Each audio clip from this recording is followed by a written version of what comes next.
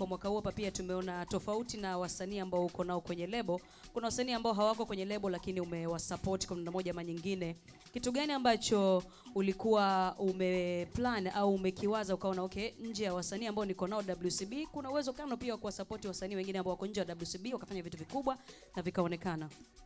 Uh, mara nyingi mimi nasemaga taasisi ya Wasafi sio kwa sababu ya Diamond au mtu aliyekuwepo tu anafanya kazi mule.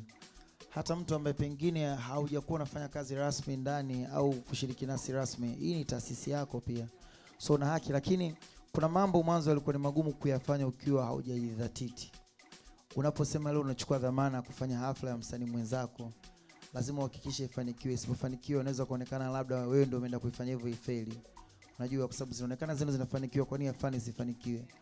Kwa ni kuhakikisha kwanza umejidhatiti, una fan base ya kutosha, una timu ya kutosha, una media ina nguvu, nyinyi nguvu mnao, ni mnahakikisha una nguvu ya kutosha.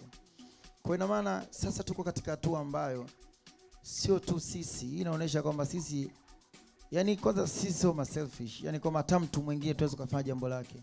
Na mimi siaminiki katika mtu akifanikiwa ndo mimi na faili, hapana. Yeah. Watu sometimes naonaga wanaandikia kwenye mtandao ana roho mbaya, mimi sijakuwa na roho mbaya. Kwa sababu mi ndo naweza kusema msanii ambaye nimetoa wasanii wengi powerful katika mm. nchi, wasanii powerful. Na sije kuwa tatizo na mtu unless otherwise tu unaweza kusikia ah, chonganishi wa fulani kazungumza fulani fulani baadaye kikawa tena chuki, mimi sije kuwa na hivyo. Oh, yeah. Ah, na siku zote na support kazi za wao. Ah, sasa hivi mpaka kwenda kwa wasanii wengine ni kitu ambacho mi napenda. Yani, wanasubiri